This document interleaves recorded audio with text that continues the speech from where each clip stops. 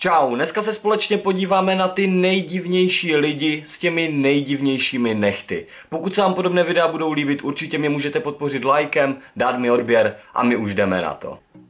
Tak, jako první nechty, co tady vidíme, no, to asi má symbolizovat nějaké zuby, což sakra je dost divné, ale na druhou stranu originální, ale na druhou stranu, nebo na třetí stranu všechno dneska tady bude originální. To má jako příbory, vidlička, lžička, no vážně, nůž, teď si to tím napíchne, no to si děláte srandu. Tak tohle je dokonce i užitečné.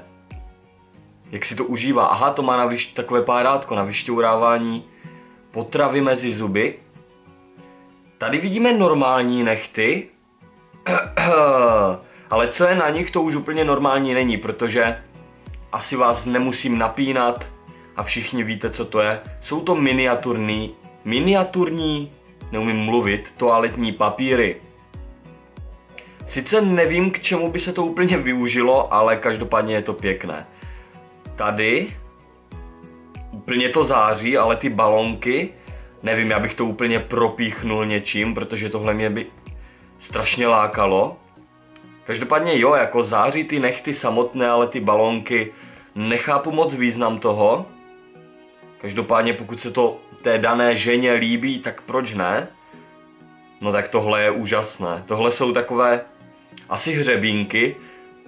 Hm, to může být celkem i příjemné. Co to je? To tam má jako vlasy? No tak tohle je už jako fakt šílené. To fakt není normální. Hmm. Teď úplně nevím, co, co jako dělají. Mi připadá jako normální nehet, nalakovaný. Ale aha, tady se něco bude tvořit. Jo, aha, to ukazují tu výrobu toho. Že tam dají ty vlasy. Jako super. Hmm. Je to šílené, ale k čemu to je, jestli to má opravdu nějaký význam? Těžko říct, no. Takhle chodit po ulici a nějakým způsobem pracovat rukama, to by asi úplně nešlo. No mají to ještě češe, zastřihává, jako kdyby to byly vaše normální vlasy. No tak tohle jde celkem mimo mě. Že to má nějakou věc na, na, na řasy, ne? Nebo na obočí, nebo na něco takového, jakoby používáno při make-upu. Co to je? To má kukuřici na tom? Aha, normálně to jí z nechtu, tu kukuřici. No tak to je super.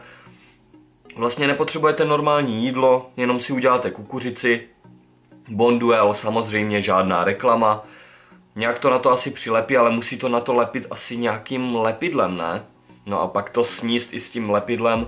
Je možné, že to je nějaké jedlé lepidlo, ale úplně si to nedokážu představit, tak jak jinak by to tam drželo?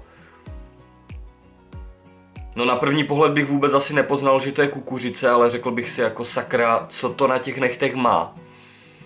Nepřipadá mi to úplně běžné, ale od toho to jsou šílené nápady, šílené nechty.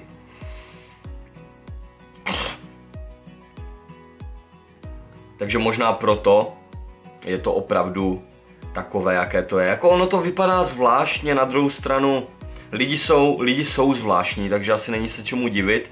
Toto je co? Hmm, nevím, jako nevěřím tomu, že tohle normálně někdo využívá, nebo že si někdo takové nechty nechá udělat tak, jako že to myslí vážně a ne pouze z recese. To jsou zase nějaké příčesky nebo nějaké vlasy, chlupy, kdo ví. A tady tohle se používá na vlasy, si myslím. Nevím přesně na co, ale no, takhle to tam zamotá. A tohle bude mít jako na nechtu? Proč? Proč by něco takové... Ještě tři na jeden nehet. Tak tohle jde absolutně mimo mě. To už není ani pěkné, tam některé ty nápady předtím jste si řekli jako jo, to by se i dalo. Ale tohle, to fakt ne. Co to je? To má propojené ty nechty nějakým drátkem, jednotlivé prstíky. A zase se ukáže ta výroba, normální nalakování. To je čokoláda nebo co? Ne, to nebude asi čokoláda, ale chápete ta barva? No, teď to nabarví. Jo, aha, to bude jenom nějaká jako modelína, nějaká hmota. Přilepí to na ty nechty, ale spíš nechápu, co to má symbolizovat. Že jsou ty nechty propojené nějakým drátkem. Jakoby drátkem, samozřejmě to je tak jenom, jenom nějaká náhražka. Ale spíš přemýšlím, co to má jako být, co to má symbolizovat, jak říkám.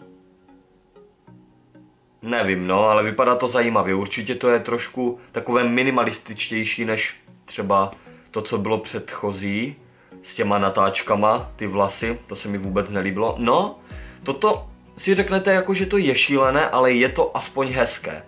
Mít motýlka takhle aspoň na jednom nechtíku, to se vám určitě líbí. Navíc barvy to ladilo, jako barva, už fakt neumím mluvit. Barva má to ladilo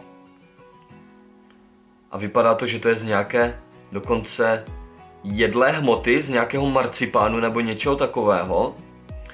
No, tak když prostě už se vám ten nech... Aha, to asi nebude marcipán, ale chtěl jsem říct, kdyby se vám ten nehed už přestal líbit, takže se normálně takhle můžete zakousnout a sníte celého motýla. Ale asi, když to dával do nějaké pece nebo do něčeho takového, tak to bude spíš nějaký jiný materiál, nebude to úplně jídlo, bohužel.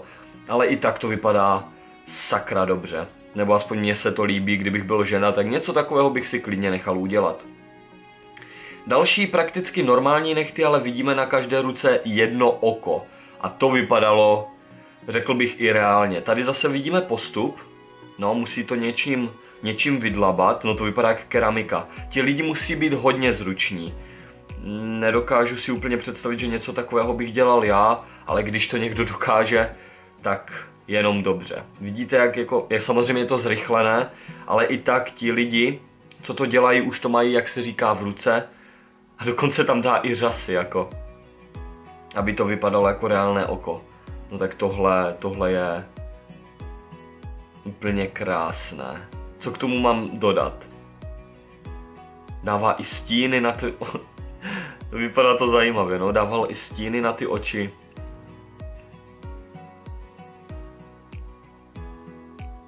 Nevím, no. Nevím, co k tomu dodat. Co to máme tady? Co to je? Ne, neříkej, že to... Teď už tady máme opravdu jídlo. Jsou to nudle. Jsou to takové ty čínské nudle, čínská polívka, ramen, ramen, raimon, re, nevím jak se to čte, ale asi všichni víte o čem mluvím. Všichni jsme ji aspoň jednou v životě měli. Můžete napsat dolů do komentáře, jestli vůbec ještě jste v tady téhle části videa, jestli vám chutná nebo naopak nechutná čínská polívka. Kdyby vás zajímal můj názor, čas od času si ji dám, ale není to úplně zdravé, takže to nějak nepřeháním. Teda ne, že by byly nezdravé přímo ty nudle, ale to koření, přesně tohle, přesně tohle koření je celkem dost nezdravé. Ale nejsem tady od toho, abych poučoval. Je to levné, je to někdy rychlé, takže každý z nás si občas dáme. No a někdo si ji dá takhle přímo z nechtů, proč ne? Oh, oh, tak tohle je celkem dost děsivé. A asi to má připomínat chobotnici, protože tyto chapadla, tak tohle je hustý ale. Sice taky bych s tím asi nevyšel úplně na ulici a, nebo možná jo, jakoby pochlubit se, ale mm, pokud byste měli nějak pracovat, tak toto vám bude dost překážet. Každopádně jako dekorace, nebo jako na nějaký prank, nějaké vyděšení, to je úplně ideální. Tohle se mi hodně líbí. Tohle by mě fakt zajímalo, kdo je specializovaný na to, aby něco takového tvořil. A jestli někdo dělá něco takového i v Česku, v životě jsem o tom neslyšel, vlastně poprvé toto vidím. Když jsem tak brouzdal internetem, řekl jsem si jo, tak na tohle musím udělat reakci, protože to se mi hodně líbí. Jenom z... neviděl jsem to video, ale viděl jsem jenom náhledovku a to mi úplně stačilo, abych řekl pravdu. Ach jo, když jste tak líní, že, nebo nemusíte být líní, můžete být zapomnětliví a zapomínat kartáček, tak proč ho nemít na nechtu, dá se říct, pořád u sebe. Myslím si, že by stačil jenom jeden, jako na celé ruce, a ne na každý nehet, ale pokud to bude mít na každém nechtu, tak si může každý den vybrat jiný, aby, aby to bylo více hygieničtější, nebo Chápete, co tím chci říct? Měli byste kartáček měnit, sice ne úplně každý den, ale jak vidíte, tady má 10 kartáčků na dvou rukou. A to doslova.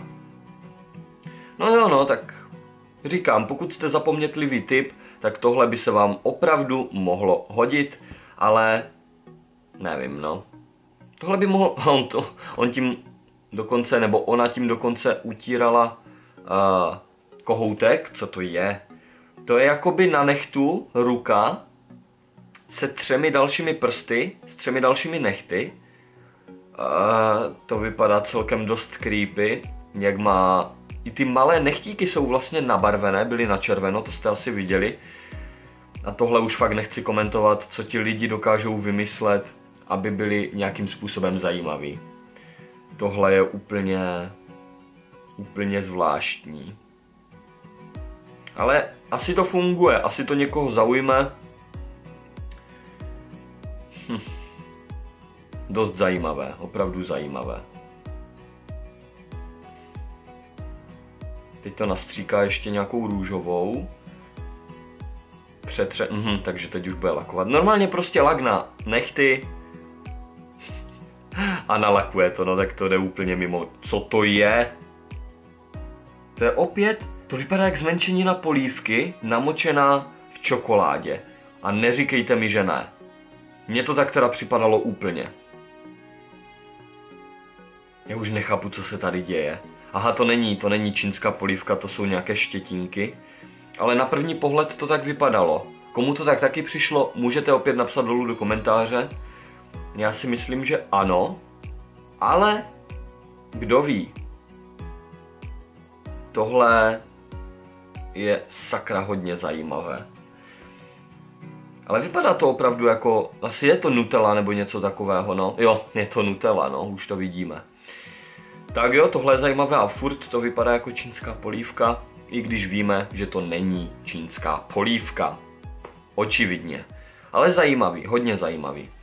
Tak jo, tady končí dnešní video. Jak už jsem říkal na začátku tohoto videa, pokud by se vám podobné reakce líbily, určitě tady můžete dát like, pokud ne, tak samozřejmě dislike a to nějak pochopím. Dej mi odběr, pokud mi ještě neodebíráš a tím pádem nepatříš do mé úžasné Vlček Family a to bude pro dnešní video už úplně všechno. S váma tady dneska stál Ondra Vlček, ten nejúspěšnější lakovač nechtů na světě a u dalšího videa zase čau.